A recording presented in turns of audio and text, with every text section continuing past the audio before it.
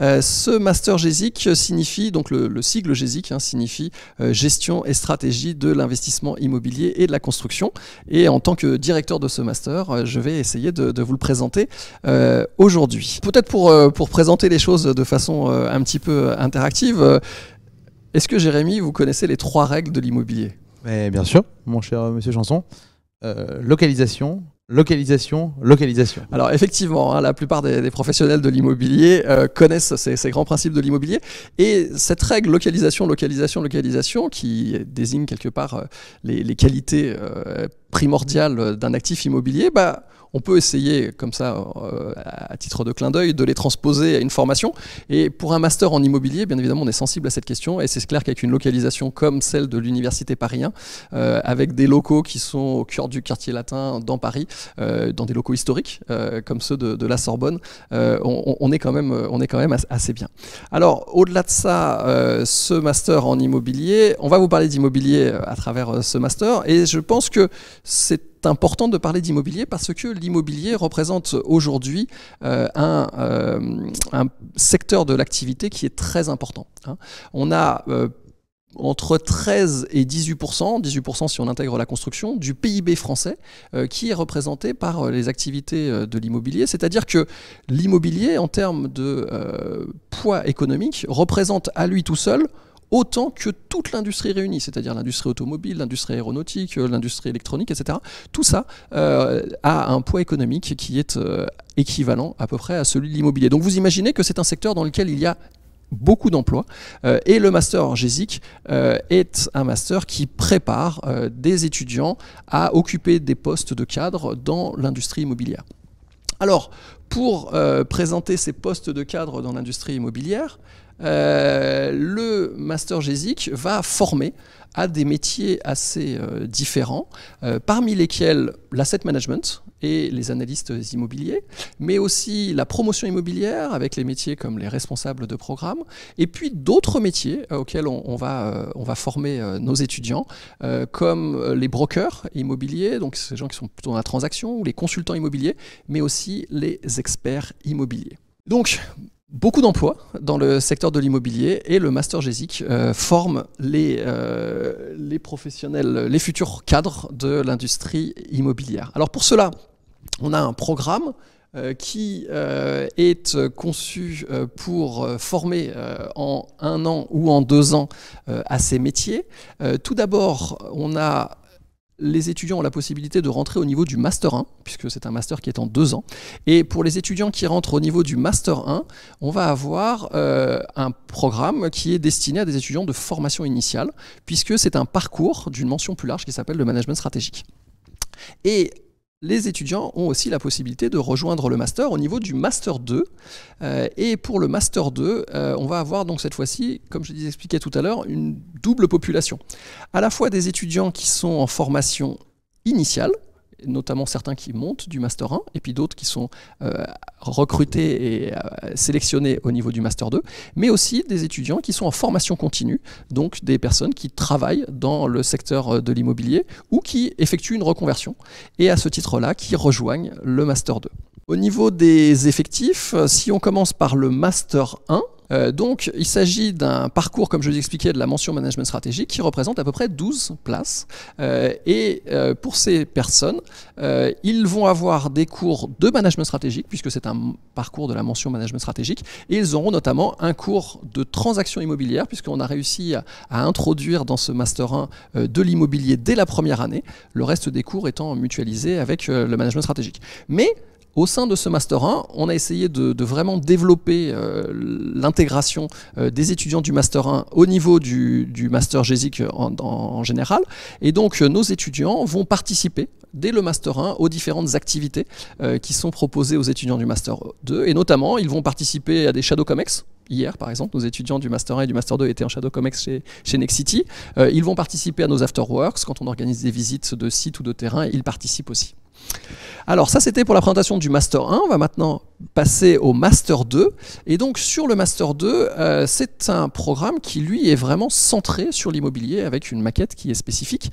Et donc si on doit présenter les, les différents cours de ce Master 2, en fait on va avoir les quatre grandes composantes au niveau des cours. on a une partie des cours qui porte sur la stratégie et la finance immobilière pour connaître la finance, ce qui est fondamental dans le domaine de l'immobilier. Une autre partie qui porte sur le droit immobilier et la fiscalité, puisque l'immobilier est une profession qui est particulièrement réglementée et encadrée juridiquement, donc un bon professionnel de l'immobilier est quelqu'un qui a de, bonnes bases dans le droit immobilier. Et puis on a une autre partie que l'on a intitulée acteurs de l'immobilier, dans lequel on va avoir des professionnels de l'immobilier qui vont venir nous parler de problématiques qu'ils observent sur le terrain dans leur métier. Et puis enfin une quatrième partie très classique dans le monde universitaire qui est dédiée aux mémoires et aux stages, puisque les étudiants doivent écrire, rédiger pendant l'année un mémoire universitaire et doivent accomplir un stage ou un contrat de professionnalisation quand ils sont en formation initiale. Alors, on va présenter peut-être les rythmes d'enseignement, puisque là c'est quelque chose qui va être assez différent d'une formation à une autre. Pour le master GESIC, le, rythme est un rythme d'alternance, au sens où nos étudiants vont avoir cours 4 jours par mois. Ils auront cours un jeudi et un vendredi, vous le voyez apparaître à l'écran, un jeudi et un vendredi tous les 15 jours en moyenne, et le reste du temps, c'est-à-dire le reste de la semaine, la semaine où ils ont cours et l'autre semaine, euh, ils seront en entreprise. Et donc euh, ceci leur permet de développer pendant une année à la fois un certain nombre de cours pour euh, se former au métier de l'immobilier, mais surtout développer une pratique et une expérience à travers ces stages, contrats de professionnalisation ou en poste quand on est en formation continue.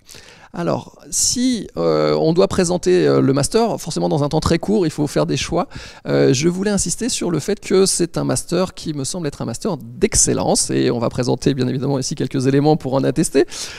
tout d'abord, c'est le plus ancien master en management immobilier de France puisqu'il date de 1985.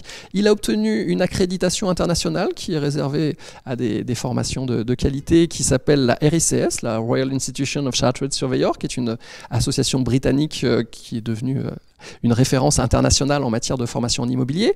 Euh, il a obtenu de très nombreuses distinctions. Il est évalué triple A par euh, l'Agence d'évaluation de la recherche et de l'enseignement supérieur.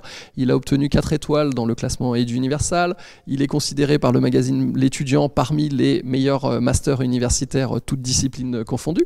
il est classé par le magazine Décideur comme un master incontournable. Bref, beaucoup, beaucoup de, de distinctions pour, pour ce master qui a aussi beaucoup développé son insertion professionnelle et ses relations avec euh, l'industrie immobilière à travers des parrains prestigieux. Vous voyez apparaître euh, à gauche de l'écran euh, la marraine actuelle qui est par exemple la directrice générale de WeWork, la précédente qui était la directrice générale de Nexity, qui est la première entreprise de promotion immobilière en France. En dessous, vous aviez la, directrice immobilière de chez Renault, le directeur général d'ICAD, qui est aussi un très grand groupe d'immobilier en France, et le fondateur et, PDG de, Constructa.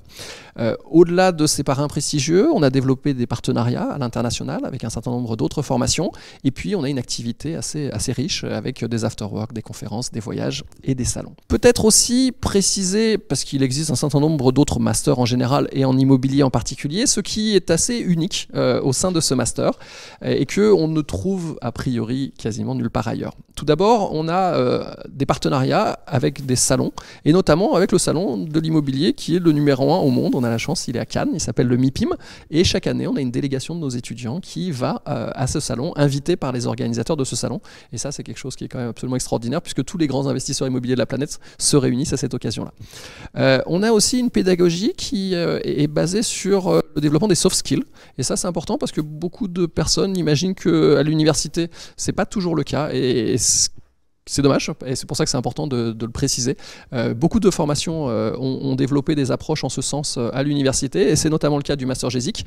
nos étudiants ont par exemple des ateliers de négociation dans lesquels ils vont se placer dans la position d'acteurs de, de l'industrie immobilière qui doivent négocier des baux et ils vont négocier pendant plusieurs semaines euh, des baux entre eux. Et puis ils participent aussi, je l'évoquais hier, à des Shadow Comex, euh, qui est là aussi un, exercice assez original dans lequel euh, hier nos étudiants étaient face au secrétaire général de Nexity Entreprise et des collaborateurs à lui. On avait aussi le directeur du MBA de HEC qui était parmi, parmi les, les, personnes qui faisaient partie de ce Shadow Comex et nos étudiants doivent présenter des stratégies immobilières et se faire challenger euh, comme devant un vrai COMEX. Et puis, dernier euh, point peut-être qu'on peut évoquer, et là aussi c'est quelque chose qui est assez rare, euh, on a au sein de notre master la chance d'avoir une coach certifiée, une coach professionnelle qui gère le master et qui peut, et qui le fait d'ailleurs, proposer à nos étudiants des tests professionnels en matière d'évaluation comportementale pour bah, les aider à, se construire comme des futurs cadres de l'industrie immobilière peut-être pour revenir un petit peu sur localisation, localisation, localisation, au niveau du master GESIC, moi, ça serait plutôt employabilité, employabilité, employabilité.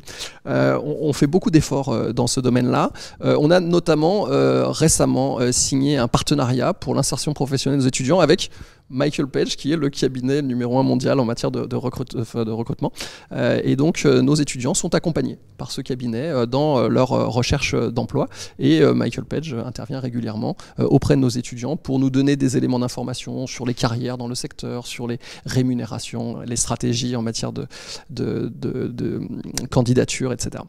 On a aussi un job dating. là aussi, c'est quand même quelque chose d'absolument extraordinaire. On invite les entreprises qui veulent recruter nos étudiants en Sorbonne euh, pour euh, venir faire passer des entretiens de sélection à nos propres étudiants euh, et quasiment toutes les grandes entreprises de, l'immobilier euh, participent à ce job dating qui est devenu un rendez-vous euh, régulier, institutionnel. Les, les, responsables de recrutement de ces entreprises euh, sont généralement très motivés pour participer à ces sessions de recrutement. C'est un master qui se veut professionnalisant. Dans le domaine de l'immobilier, ça veut dire aussi aller sur le terrain. Donc on organise très régulièrement des, voyages sur le terrain. chaque année, sauf période de, contexte pandémique, nous allons sur le terrain dans différentes villes en France ou à l'étranger pour aller étudier des programmes immobiliers qui sont euh, soit en cours de construction, euh, soit achevés. Bien évidemment, une vie euh, extra-universitaire qui est importante à travers les salons, à travers des soirées et autres qu'on organise. Tout ça pour, à l'arrivée, aboutir à des étudiants qui ont un excellent taux de réussite, parce qu'on les sélectionne bien, et qui vont être diplômés d'un master qui est reconnu dans le monde de l'immobilier, et puis en plus avec le, nom de l'université Panthéon-Sorbonne qui, qui ouvre des portes en France et à On a un temps qui est limité, donc je vais présenter très rapidement les, procédures de candidature parce que je pense que ça peut intéresser un certain nombre des personnes qui sont présentes ici.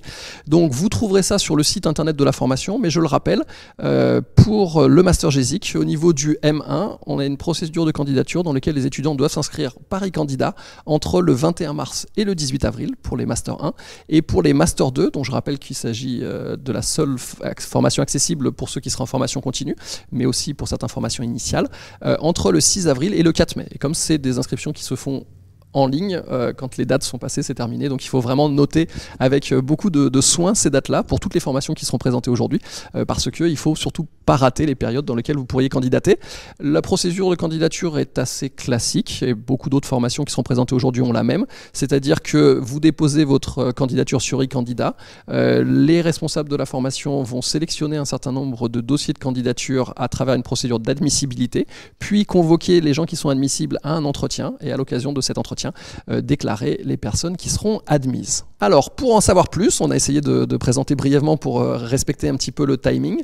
Euh, si vous êtes intéressé par le master et que vous avez envie de le rejoindre, eh bien, bien évidemment, vous pouvez découvrir beaucoup d'informations sur le site du master et on a une adresse très simple à retenir www.mastergesic avec vous pourrez aussi consulter nos réseaux sociaux puisqu'on a beaucoup d'informations sur nos réseaux sociaux et notamment sur LinkedIn et sur Twitter. Et puis sinon, vous pouvez contacter notre gestionnaire de scolarité, Madame Brendel, dont je parlais tout à l'heure, euh, dont le numéro s'affiche euh, à l'écran. Euh, et la contacter aussi par mail, puisque on a une adresse mail m2gesic-ems.unif-paris1.fr qui vous est proposée. Pour les questions qui pourraient porter sur les, financements des formations continues, sur le salon aujourd'hui, vous aurez euh, un stand qui pourra vous fournir des réponses, mais sinon, pour la suite, euh, vous pouvez aussi contacter notre spécialiste euh, des formations continues pour le Master GESI, qui est Madame Descourtis, dont vous découvrez l'adresse ici. quels sont les différents débouchés du coup après ça? Alors, euh, la plupart de nos étudiants, et c'est normal, vont travailler dans le secteur de l'immobilier puisque c'est un master qui est défini par rapport à un secteur. Hein, on a des masters qui des fois sont définis par rapport à des fonctions, comme les masters en RH, en marketing, en audit, etc. Ici, là, on a un master qui est vraiment lié à un secteur, qui est le secteur de l'immobilier, dont on a essayé de rappeler tout à l'heure euh, l'importance économique. Donc, la plupart de nos étudiants vont travailler dans le secteur de l'immobilier, mais ils peuvent aussi travailler parfois dans le secteur bancaire, puisque les banques sont des acteurs importants de l'immobilier, parfois dans le secteur de l'assurance. Bon, il peut exister d'autres secteurs que le secteur de l'immobilier immobilier stricto sensu. Euh, pour autant, euh, dans, le, dans les métiers que vont, exercer nos étudiants, euh, sont des métiers qui sont caractérisés par un certain niveau de, de, compétences. Donc souvent, quand on pense à immobilier, on imagine agent immobilier. peu de nos étudiants vont devenir agent immobilier, comme par exemple Stéphane Plaza, parce que c'est des métiers qui sont souvent, les métiers d'agent immobilier sont très nombreux en France, mais c'est des métiers qui sont souvent destinés à des gens qui vont suivre des formations un petit peu plus courtes, comme par exemple une licence professionnelle en immobilier. les euh, les étudiants qui font un master en immobilier vont essayer de s'orienter généralement vers d'autres types de fonctions euh, qui nécessitent du coup euh, ces compétences que l'on essaye de leur transmettre et ces connaissances qui sont des métiers dans le domaine, on disait, de l'asset management, dans le domaine de la promotion immobilière, dans le domaine parfois aussi de l'expertise immobilière ou parfois de la transaction, mais plutôt dans ce qu'on appelle des brokers immobiliers. Qu'est-ce que serait le bon profil d'un candidat pour le master euh, GESIC Parce que ça a l'air quand même euh, sélectif. C'est très sélectif, hein, puisque je disais à peu près 400 candidatures, 28 places, donc euh, c'est effectivement très sélectif. Alors, c'est une appréciation d'abord du candidat qui est global. Hein. On ne va pas dire euh, il faut avoir eu telle note ou tel stage ou etc. Euh, ou telle expérience professionnelle. Donc c'est une appréciation qui est globale et c'est d'ailleurs pour ça que euh, on fait d'abord une étude sur le dossier de candidature, puis après un entretien pour essayer d'obtenir vraiment le maximum d'informations pour bien comprendre le projet du candidat et, son dossier. Au-delà de ça, pour essayer de répondre de façon précise, les, critères peuvent être un petit peu différents selon qu'on soit en formation initiale ou en formation continue. En formation initiale, donc des étudiants qui sont dans le cours de leur scolarité, bien évidemment, les résultats qu'ils ont obtenus les années antérieures sont très importants. Puisque quand on a beaucoup de candidatures, on va bien évidemment choisir ceux qui ont les meilleures mentions euh, ou les meilleurs résultats. Donc, bien évidemment, ça c'est un point qui est important. Et pour les étudiants en formation initiale, on va regarder aussi le, domaine dans lequel ils ont fait leurs études. Donc, souvent, les étudiants viennent soit euh, d'économie ou de gestion euh, pour le master 1. et au niveau du master 2, c'est un peu plus large, puisqu'on a des étudiants qui viennent de droit, des étudiants qui viennent d'écoles d'ingénieurs, notamment l'STP, on a des étudiants qui viennent d'écoles d'architecture, on a aussi parfois des étudiants qui viennent d'urbanisme. Ce sont les, principaux, euh, les principales disciplines dont viennent nos étudiants. Donc ce qu'on regarde pour les étudiants de formation initiale, c'est donc, on disait ça, c'est-à-dire la formation, les résultats obtenus dans cette formation, et puis aussi l'intérêt pour l'immobilier. Et cet intérêt pour l'immobilier, on va le retrouver à travers, par exemple, des stages que les étudiants ont fait, des petits boulots. Euh, et ça, c'est assez intéressant parce que ça nous renseigne sur le fait que voilà, il y a un intérêt pour l'immobilier qui peut être un peu ancien et pas euh, une candidature comme ça que l'on fait euh, la veille parce qu'il faut faire des candidatures. Pour les candidats en formation continue, c'est différent puisque euh, ils ont souvent une carrière qui peut être euh, rectiligne ou parfois assez sinueuse avec des réorientations. Et donc on va essayer de comprendre cette carrière, on va essayer de voir quel est le projet professionnel pour lequel euh, ces, ces, étudiants souhaitent suivre une formation parce que c'est c'est compliqué, c'est lourd, c'est un vrai investissement que de s'investir pendant une année quand on est dans la vie active, dans une formation qui est aussi exigeante. Euh, donc voilà, on va essayer de comprendre ça, d'essayer de, percevoir la motivation, euh, la capacité à, suivre les enseignements. Donc on va regarder aussi les formations, à la fois initiales et les formations continues que les gens ont fait au cours de leur carrière, pour voir s'ils ont les bagages euh, académiques pour pouvoir suivre la formation. Et puis on va regarder aussi les, le, CV et les, les missions que ces personnes occupent. Est-ce qu'elles ont déjà le pied dans l'immobilier ou pas Est-ce qu'elles ont déjà euh, exercé des, fonctions managériales? Voilà, on, essaye d'appréhender tout ça. Et puis, bien évidemment, que ce soit des de formation initiale et de formation continue, on est quand même assez intéressé par le savoir-être, parce que quand euh, on doit euh, choisir les, étudiants qui vont suivre cette formation, eh bien, on a envie de, construire une promotion dans laquelle la dynamique sera bonne.